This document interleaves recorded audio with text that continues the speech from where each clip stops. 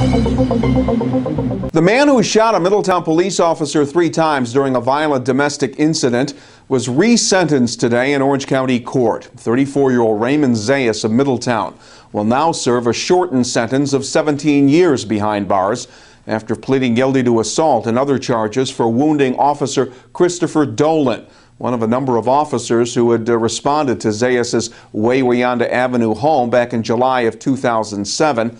Today's sentencing marks the end of a lengthy legal odyssey. Zayas' first trial ended in a mistrial. His second trial ended with a conviction and a sentence of 40 years in prison.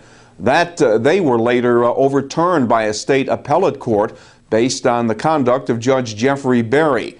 Now, prior to a scheduled retrial that was to begin last month, Zayas pleaded guilty to all charges.